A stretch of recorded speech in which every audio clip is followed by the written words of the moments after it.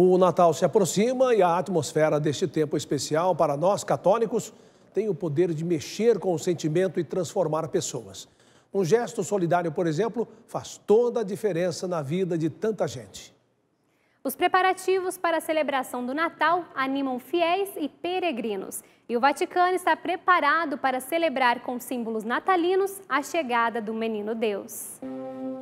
Quem passa pela Praça São Pedro, no Vaticano, se depara com uma árvore de Natal. O tamanho e a luminosidade atraem a atenção de crianças e adultos. Os peregrinos podem apreciar uma exposição com 120 presépios, que reúne obras de artistas de todo o mundo.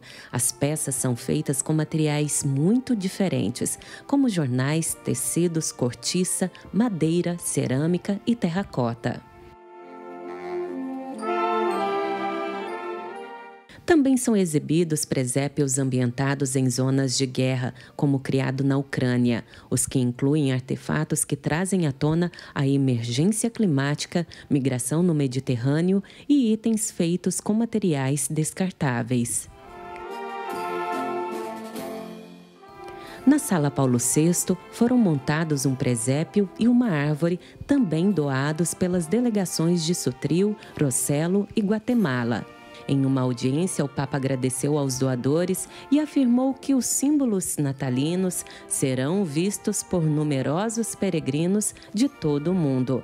O Santo Padre manifestou gratidão às crianças que participaram da decoração da árvore, aos artesãos e marceneiros que esculpiram as estátuas do presépio e aos que cultivaram as árvores menores, destinadas a outros ambientes do Vaticano. Francisco também falou sobre a simbologia utilizada na decoração de Natal.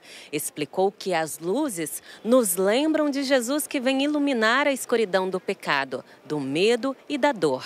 Afirmou que, assim como as árvores, os homens também precisam de raízes, pois só quem está enraizado em terra boa permanece firme, amadurece, resiste aos ventos e se torna um ponto de referência. Sobre o presépio, o Papa enfatizou um Natal diferente do consumista e do comercial. Para o pontífice, a cena do nascimento de Cristo remete à importância dos momentos de silêncio e oração em nossos dias.